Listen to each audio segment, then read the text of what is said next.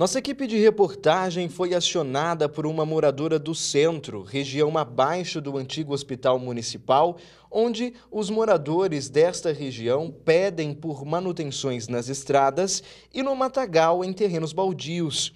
Vamos ouvir o que essa moradora nos relata. É, é assim, porque muito mato, né? Nós estamos tá passando na estrada, que não tem mais nem rua, não é nem rua mais, é matagal.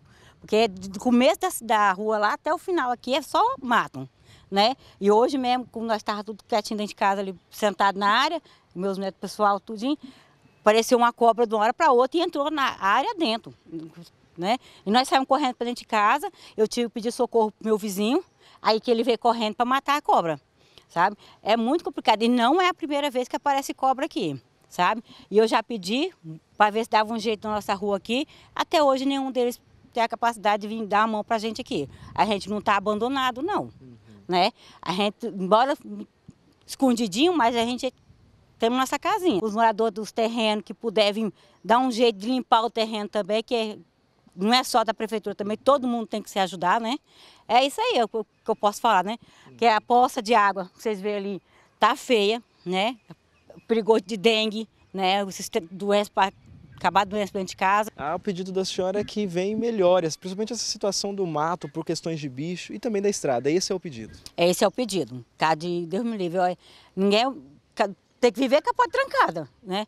Eu hoje mesmo, depois disso, hoje eu tô com a porta trancada. A da cozinha como da sala. Eu tô trancado, ou medo da moléstia, né? Uhum. Aí você fica aqui fora, agora o bicho vem e morde você, você não sabe né? Então eu queria melhorasse a rua, né?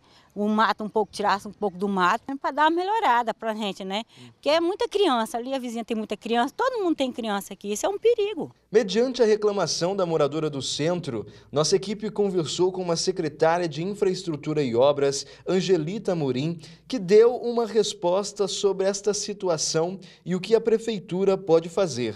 Vamos ver. Aquelas ruas foram doadas ao município já há algum tempo, então a responsabilidade é da prefeitura, né?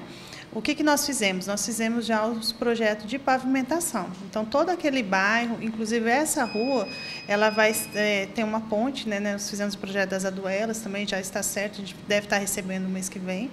Então, essa vai ser ligada lá no, no bairro Preto, né?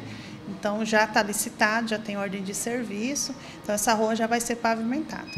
É importante a gente lembrar essa moradora, então, né, que é uma questão de tempo, já que já foi licitado e já teve ordem de serviço para essa situação. Mas o que, que o município pode fazer nessa situação ali enquanto não chega? Então, o que, que a gente, nós né, fazemos esse ano até a gente deu uma segurada por conta da ordem de serviço. Né? A gente faz as manutenções, a gente sabe ali o escoamento de água é muito grande com as chuvas. Tivemos aí um ano chuvoso, graças a Deus, a gente sabe que teve é, chuvas pesadas, né? então com isso vai danificando. Né? Tanto é que ali vai ter drenagens ali para escoar essa, essa água é, devido à pavimentação. E tivemos arrumando aí tem um, uns 15 dias, né? A gente cobriu algumas erosões que tinham por conta da chuva. A gente vai pedir para estar tá passando para o pessoal da limpeza urbana para estar tá recolhendo.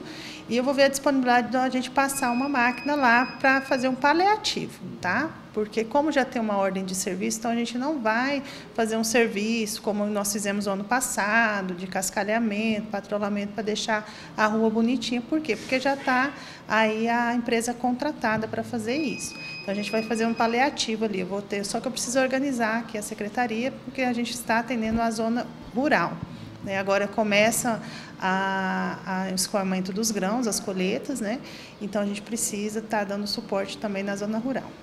Bom, Angelita, como você mesmo disse, ela também reclamou sobre a situação de mato alto, mas até onde que é responsabilidade da prefeitura, então a prefeitura vai buscar fazer. A gente sabe que ali tem muitos terrenos que são baldios, mas o terreno em si é de responsabilidade de cada proprietário. Sim, sim, né? A prefeitura ela não entra em terrenos particulares, né? Então, assim, cair, cabe ali ela procurar, ali, na verdade, ali existe um proprietário de um todo que foi vendendo, né? Então, que é, verificar quem são os donos, né? A gente, ela pode estar denunciando também para a vigilância sanitária, a vigilância sanitária vai entrar em contato, as fiscais de obras e postura também, elas fazem esse acompanhamento e a gente notifica aí o proprietário para estar limpando esse seu terreno. Aí a parte da rua é responsabilidade nossa.